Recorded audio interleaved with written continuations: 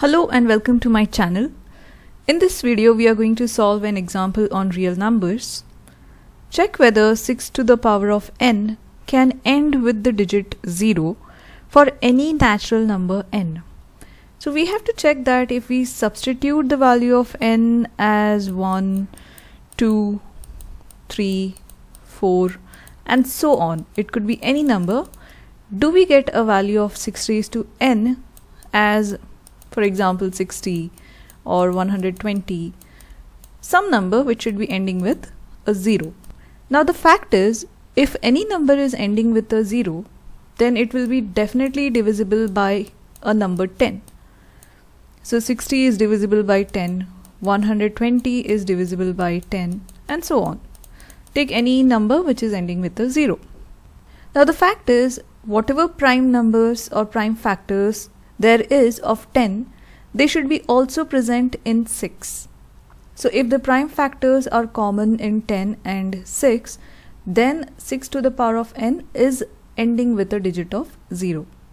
Now 10 has prime factors as 2 and 5.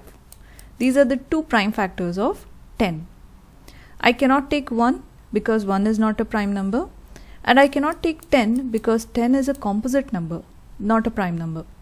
So we need to check only the prime factors of the number 10. Now let us find out what are the factors of 6.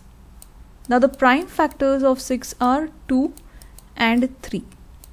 Again here we cannot take 1 because 1 is not a prime number and we cannot take the number 6 as a factor of 6 because 6 is a composite number. So the prime factors of 6 are 2 and 3. So let us compare. Now looking at it, 2 and 2 is common from 10 and 6. This matches. But 5 is there in the tens. But the prime factor of 5 in the number 10 is absent from the number 6. That means 6 to the power of n will not end up with the digit 0.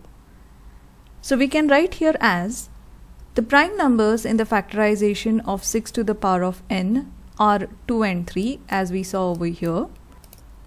And by the uniqueness of fundamental theorem of arithmetic, there are no other prime factors other than 2 and 3 for 6.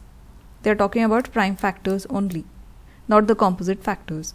So there are only two factors of 6 or two prime factors of 6. Therefore, 6 to the power of n will never end with a digit of 0 mainly because the 5 is missing from the factors of or prime factors of 6. I hope you have understood all the steps and liked the video. So if you're liking my videos, like, share and subscribe to my channel and thanks for watching.